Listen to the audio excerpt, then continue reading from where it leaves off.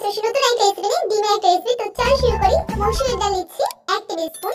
এর মধ্যে জল দিয়ে এক ঘণ্টা ভিজিয়ে রাখছি। তো ভেজানো হয়ে গেছে, এবার আমি এটাকে মিক্সচারে নিয়ে নিচ্ছি।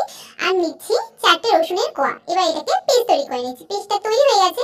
এবার এর মধ্যে দিয়ে দিচ্ছি একটা পেঁয়াজ কুচি। একটা বড় পেঁয়াজ কুচি করে নিচ্ছি, আর তিন টেবিল চামচ ক্যাপসিকাম দুই টেবিল চামচ লঙ্কা কুচি। টমেটো কুচি, দুই টেবিল স্পুন ভালো করে মিশিয়ে নিয়ে এর মধ্যে এবার দিয়ে দিচ্ছি লবণ, এক চা চামচ দিয়ে আবার একটু মিশিয়ে নিলাম। এবার এর মধ্যে দিয়ে দিচ্ছি জিরে গুঁড়ো, এক চামচ, গরম মশলা গুঁড়ো, এক চা চামচ, ধনে গুঁড়ো, এক চা চামচ। এবার এটাকে ভালো করে আমরা মিশিয়ে নিচ্ছি। মেশানো হয়ে গেছে, এবার দিয়ে দিচ্ছি ডিম। আমি এখানে দুটো ডিম দিচ্ছি। এবার এটাকেও ভালো করে ফেটে নিচ্ছি। তো আমাদের এটা ফেটানো হয়ে গেছে। তেল দিয়ে দিলাম দুই টেবিল স্পুন। এবার একটু গরম হয়ে গেছে, আমি এটাকে ঢেলে দিচ্ছি এই ডিমের পোটটাকে এবার আমি পাঁচ মিনিটের জন্য এটাকে ঢেকে রাখলাম। পাঁচ মিনিট পরে দেখুন, এটাকে আমি এবার পাল্টে দেবো একটু হালকা ছাড়িয়ে নিয়ে একটা থালার সাহায্যে আমি এটাকে উল্টে দিলাম। এবার চলে যাচ্ছে একটা মশলা তৈরি করতে। তো চলো মশলাটা তৈরি করি।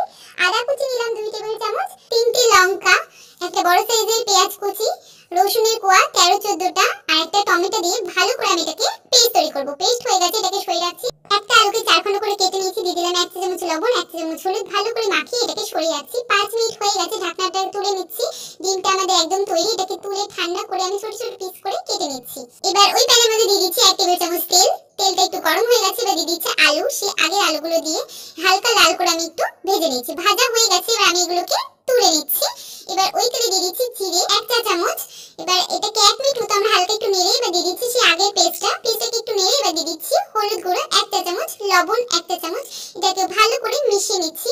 ভালো করে মেশানো হয়ে গেলে এবার এর মধ্যে দিয়ে দিচ্ছি দুই টেবিল চামচ জল যাতে এই মশলাটা না পুড়ে যায়। এবার দিয়ে দিচ্ছি জিরে গুঁড়ো এক চা চামচ, ধনে গুঁড়ো এক চা চামচ দিয়ে ভালো করে একটু কষিয়ে নিচ্ছি। কষানো হয়ে গেছে তো দিয়ে দিচ্ছি ভাজা আলুগুলোকে। এটাকে ভালো করে কষিয়ে নিচ্ছি। দুই মিনিট পরেই আমি দিয়ে দিচ্ছি এখানে উষ্ণ গরম জল। উষ্ণ গরম জলটা দিয়ে এটাকে একটু হালকা একটু নেড়ে আমি ঢেকে দিচ্ছি পাঁচ মিনিটের জন্য। পাঁচ মিনিট পরে ফিরে আসলাম, দিয়ে দিচ্ছি চিলি সস এক টেবিল চামচ দিয়ে ভালো করে একটু মিশিয়ে নিচ্ছি। এবার ফুটতে দিচ্ছি এক মিনিট মতো। এক মিনিট হয়ে গেছে, এবার দিয়ে দিচ্ছি সেই আগের ডিমটা, যেটাকে আমি পিস